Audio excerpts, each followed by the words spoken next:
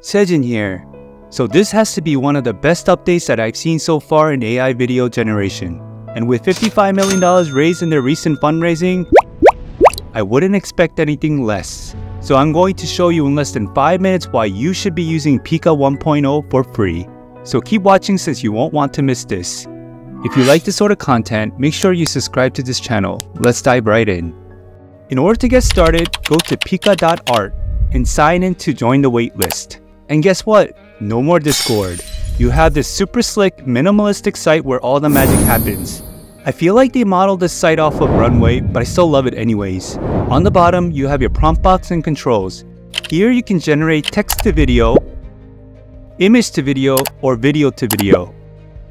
Here you can choose from 6 different types of aspect ratios and even set the FPS on your video.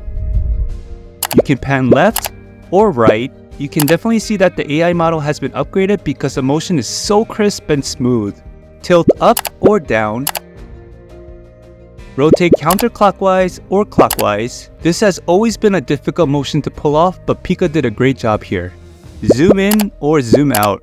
Nice. It really makes you feel like you're part of the scene. And you can control the strength of the motion for each of the camera controls. If you want to really have fun, you can choose one camera control for each category. Here you have your negative prompt box and seed box for video consistency. The consistency with the text option controls how consistent you want the video to be compared to the text prompt. 5 being the least consistent and 25 being the most consistent. Now it gets even better. You can click the retry button to regenerate the video if you didn't like the first one with a click of a button. Seems similar to the original one, Reprompt lets you change the text prompt, camera control, or one of the settings. This I really love since it makes it super convenient to regenerate your videos on the fly. Oh nice, we get a nice upwards tilt. Now are you ready for this? If you click the edit button, you have two options. Modify region and expand canvas. Modify region is like inpainting where you can add or change certain elements within the video. Let's give this boy a spacesuit.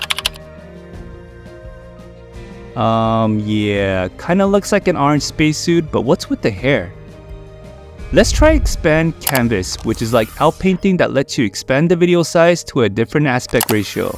Let's change this into a portrait. The outpainting worked, but I think giving it a text prompt would have made it a bit better. I'll make a note on that. On top of all that, you can add 4 seconds to your video and upscale your video. But one thing I have to mention is that the extra 4 seconds can be a hit or miss. Here is the upscaled version. What do you think?